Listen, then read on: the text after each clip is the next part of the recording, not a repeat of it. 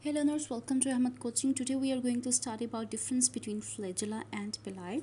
Flagella and pili, they both are the structures which are present in the bacteria performing different functions. So how they both are different from each other? Let's talk about that. First of all, in the case of appearance, the flagella is long and thread-like appendages. Here you can see this is a cell of bacteria this part here this one is actually flagella you can see it is long and it is like a thread.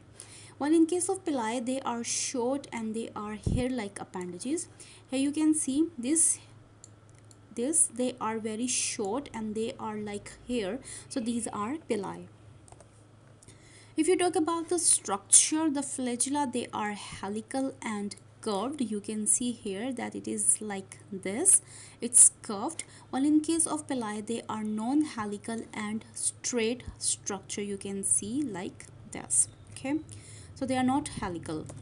If you talk about the composition the flagella is made up of flagellin protein while pili is made up of pilin protein the number of flagella in one cell of bacteria is from 1 to 8, while hundreds of pili are present in one cell of bacteria. Here you can see there are so many pili while only one flagella is present. Talking about the diameter, the flagella they are thick and they are 15 to 20 nanometer. You can see their thickness in comparison to the pili and they are 15 to 20 nanometer thick while the pili they are very thin and they are 3 to 10 nanometer in the diameter. The flagella they are present on the poles laterally or peritrichous. The peritrichous mean that they are present all around the surface of the bacteria. While pili they are present throughout the body of the bacteria as you can see that they are present everywhere on the body of the bacteria. Flagella they can be found on gram positive and gram negative bacteria while pili they are present on only gram negative bacteria so they are absent in the gram positive bacteria.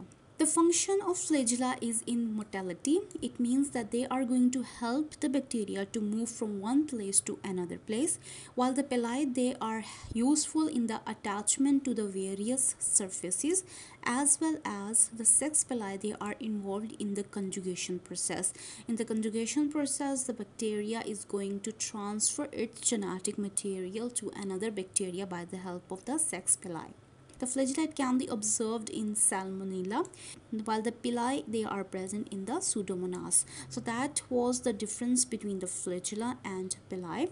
If you still have any question you can ask me in the comment section. I will see you in the next video.